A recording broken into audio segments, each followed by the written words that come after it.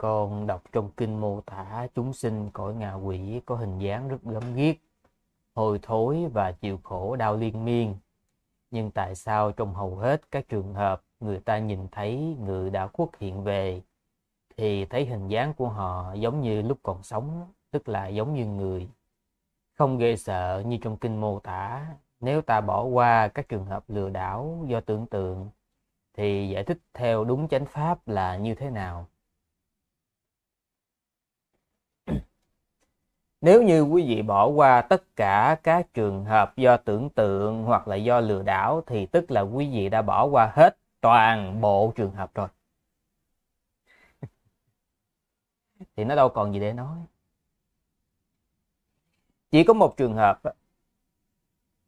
mà người đã khuất hiện về, mà mang hình tướng giống như người còn sống chỉ có một đó là thân bằng quyến thuộc của mình mất rồi được sanh làm hàng chư thiên.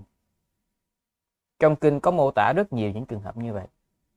Họ về uh, và họ biến hiện trở lại cái hình dáng của kiếp trước của họ tức là giống như người thân của mình trước khi chết. Uh, để cho họ, mình thấy. Nhưng có một đặc điểm như thế này là sau khi họ cho mình thấy để chứng minh là họ là người thân của mình thì họ sẽ biến hiện trở lại hình dáng thật của họ tức là hình dáng của chư thiên để thông báo cho người nhà mừng là ờ à, tôi sanh thiên rồi yên tâm không phải lo.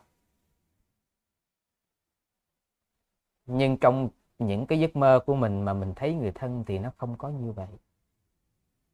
Thì trong trường hợp đó tôi rất tiếc quý vị đã loại toàn bộ ra rồi. Là một à, là do lừa đảo à, hai à, là do mình tưởng tượng xong hết rồi. Không còn gì để nói nữa.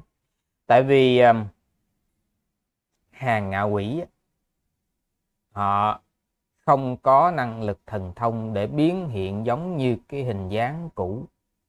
Họ không có năng lực đó.